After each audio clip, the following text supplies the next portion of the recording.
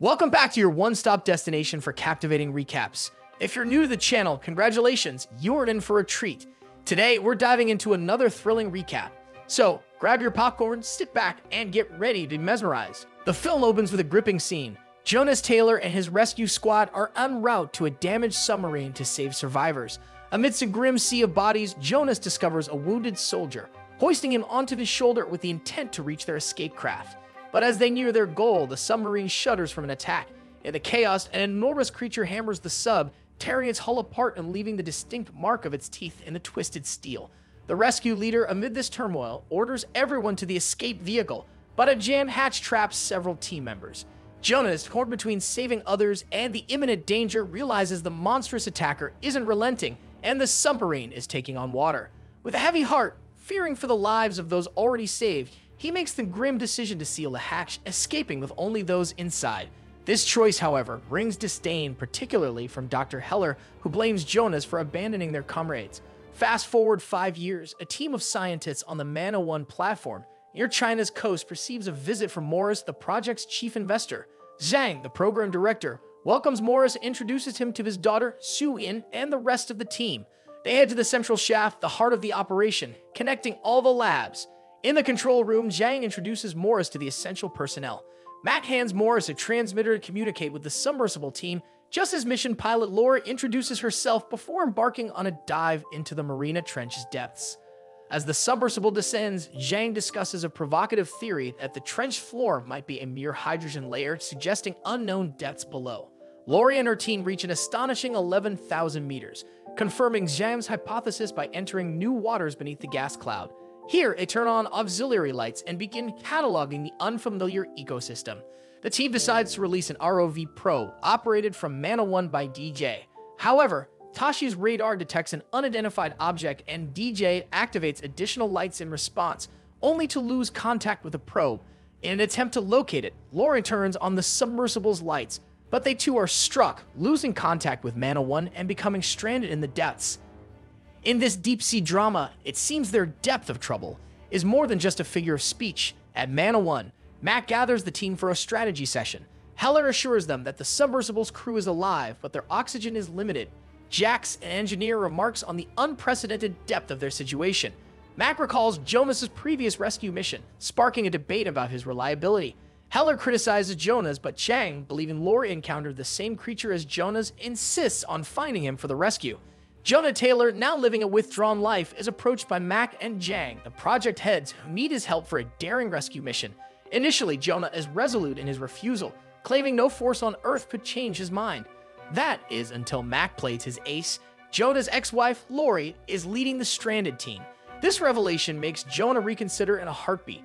As Zhang flies Jonah to Mana 1, Lori and her crew are fighting for survival, managing to reboot their systems. But their triumph is short-lived as the monstrous creature returns, causing an accident that injures Lori. With Lori in dire straits and oxygen running low, she makes a bold move to use a glider to tow the submersible to safety. Just as she initiates this desperate plan, Zhang's helicopter with Jonah on board touches down. Jonah and Heller, an old adversary, immediately clash, but Jonah, focused on the mission, brushes it aside and preps for the dive. Here, he meets Suyin's young daughter, who earnestly asks him to ensure her mother's safe return. Looks like Jonah's got more than just deep sea pressure to deal with. Jonah's dive is a plunge into danger. He pushes the submersible to its limits, experiencing the physical toll of the rapid descent. Meanwhile, Suyin, in her glider at the ocean floor, unwittingly attracts the giant creature with her lights. She locates the stranded submersible, but is then attacked by a colossal squid, leading to a near-fatal pressure buildup in her capsule. In a dramatic twist, a massive shark, the Megalodon, intervenes, saving Suyin from certain death. Jonah, realizing the creature's attraction to light, instructs Suyin to turn off her glider's lights, a task complicated by a malfunction. In a race against time, he diverts the Megalodon with flares, enabling Suyin to ascend. Left behind, Jonah successfully attaches to the submarine and rescues the crew, including his ex-wife, just as the Megalodon returns. In a brave act, Tashi, the psychic, sacrifices himself to lure the Megalodon away, allowing the rest to escape.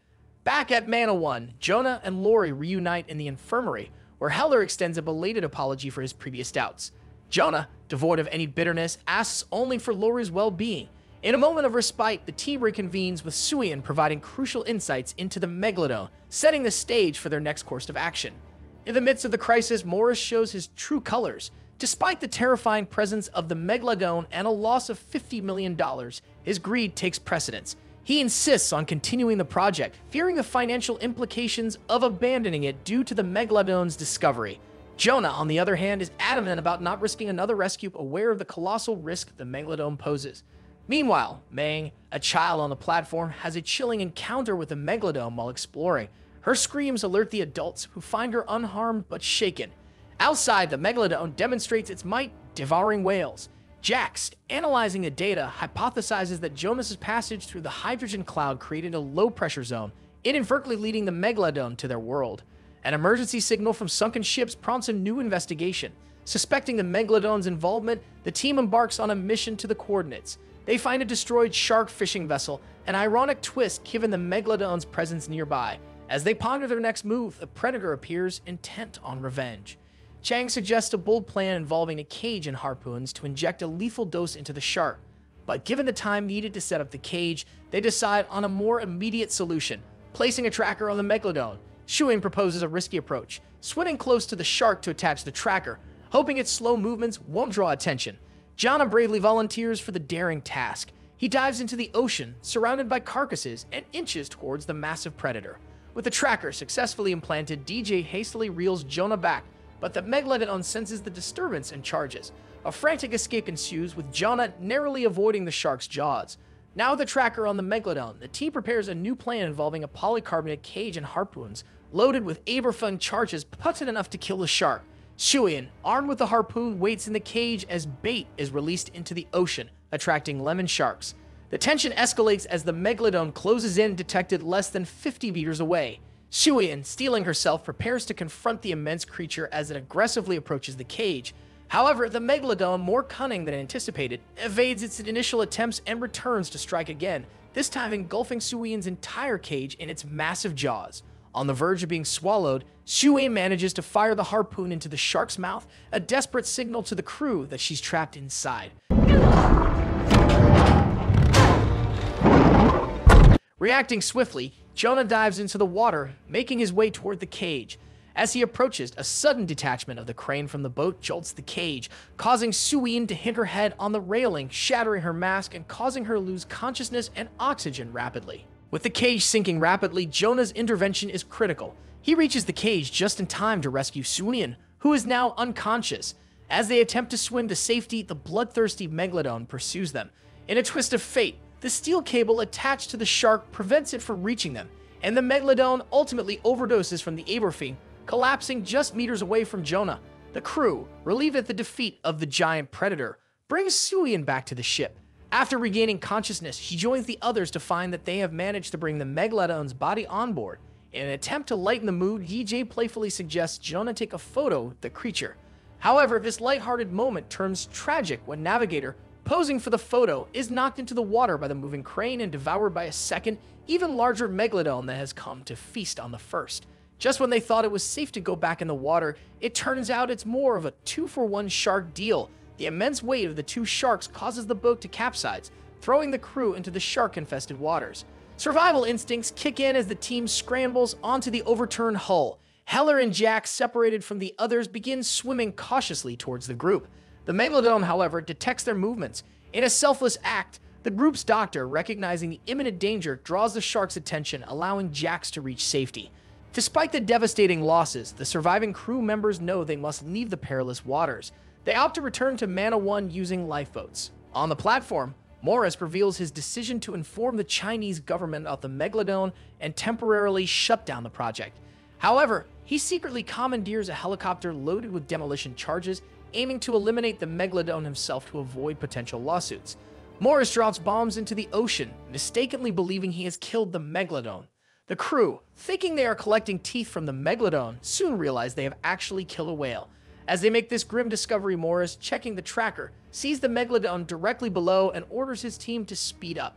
In a twist of fate, he loses his grip and falls into the water, becoming prey to the Megalodon along with the whale carcass. Back at Mana 1, Mac discovers Morris's deception about the Chinese government's involvement, prompting Jonah and the team to take decisive action against the prehistoric predator. Taking command of the rescue ship, the team tracks the Megalodon as it heads towards Somnia Bay, a bustling beach in China. They anchor near the shore and devise a final strategy, using a cell phone to imitate whale sounds to lure the shark. Meanwhile, beachgoers remain blissfully unaware of the imminent danger. The Megalodon makes a dramatic entrance, leaping from the water to devour a raft full of people, causing chaos among the swimmers. One unfortunate man inside an inflatable ball meets a horrific end in the shark's jaws. As the Megalodon heads towards the mass of swimmers, DJ's cell phone sound diverts it, narrowly averting a massacre. In the water, Suyin and Jonah prepare to confront the beast using their gliders. Jonah, spotting the shark, initially aims a missile, but redirects it to avoid hitting their own boat, leading him through a coral reef. The maneuver results in a collision that temporarily hampers his submersible, but he quickly recovers. Jonah, undeterred, continues his plan, attempting to draw the Megalodon towards Suyin for a clear shot. Despite a missile hitting nearly inside its mouth, the Megalodon survives. The intense action draws the attention of press helicopters, but a distracted pilot causes a collision, leading to a catastrophic crash on their ship, forcing the crew into the water. Oblivious to the disaster on the ship, Suyin keeps luring the Megalodon, hoping to give Jonah another shot. However, when a missile misfires, Jonah is knocked overboard. Suyin, upon realizing the ship's plight, surfaces and is relieved to find her daughter and DJ safe. Jonah, left to confront the Megalodon alone, feigns a swim upwards before plunging downward with a piece of metal from the ballast, ripping open the shark's belly. Despite this, the Megalodon manages to hit him with its fin and swallows the capsule. In a desperate struggle, Jonah, now exposed to the open sea, retrieves the metal piece from the ballast and uses it as a weapon. He bravely mounts the shark's face, plunging the steel stake into its eye. This heroic act finally defeats the Megalodon, attracting hundreds of smaller sharks to feast on its carcass. After the intense battle, the team surfaces rejoicing in their narrow escape. Life resumes for each member, marked by the lingering possibility of another mega shark emerging from the depths. Subscribe for more videos like this and turn on the notification bell so you don't miss out. Leave us a like to help us out and comment your thoughts on the video. Stay awesome!